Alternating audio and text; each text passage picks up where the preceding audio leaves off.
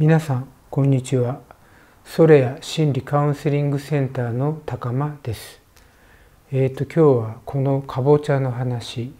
草間彌生さんですね。話をしたいと思います。ある人と話をしててあのあ村上春樹の話をしててあの創作っていうものはこ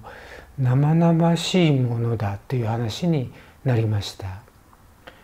あのこうカオスの中から生まれてきたものを組み立てるのが創作であるということでまああのとっても危険な作業だという話をあのしていました。でそこで思ったのは、まあ、芸術というのは本当にこう生々しいその間違えると死んじゃうぐらいの、まあ、そういうカオスの中にこう自分を突入してあの行かせるわけですからとっても大変な作業だと思うんですけれども村上春樹の作品もまあそうやってして生まれているのだろうという話でした。でそこで思い立ったのがこの草間彌生さんのこのかぼちゃですね。草間さんは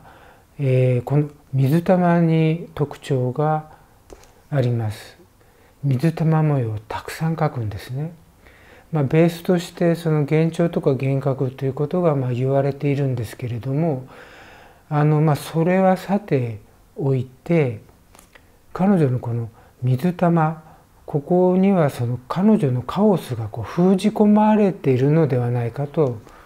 思っています。生々しい感じを封じ込めるための水玉ということですね。自分のこう生命の影の部分カオスの部分がこうわーっとこう暴発しないようにこの水玉の中に草間さんはそれを封じ込めているのかもしれないというふうに思いました。でその封じ込める作業っていうのはとっても大変な作業で、まあ、芸術家とか宗教とかがそのためにあるということだと思うんです。ですから普通の人が封じ込めようとすると大変なので、まあ、それが病気という形になって、まあ、統合失調症のような幻聴幻覚、まあ、離性障害のような幻聴幻覚を体験するのかもしれないですね。芸術家はそれを封じ込める術を持っているので発症していないだけかもしれないです。ちょうどあの原子炉、えー、原子力発電所の原子炉がこう暴走しないようにこう制御棒でコントロールしている、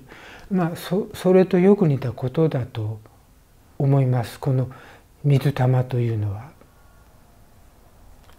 えー草間弥生さんの弥生のこう生ですね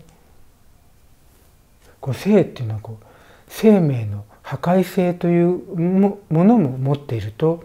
思います。生命というのはまあ2つの局面があって自由だということとあと破壊すること、まあ、両方持っている、まあ、陰陽で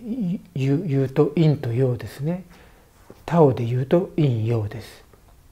で草間さんはこの弥生っていう字書くんですけど弥生は3月です。まあ、3月というのは生命が芽吹いていく時期だからこう影の部分も暴走しやすいんだと思うんですね。実際草間さんは3月生まれです。まあそういうことがいろいろ絡んで草間さんは自分の生命の影の部分をコントロールしようとしてずっと水玉を描いてきたのかもしれないです。普通の人はそれができないので、まあ、宗教というものにこ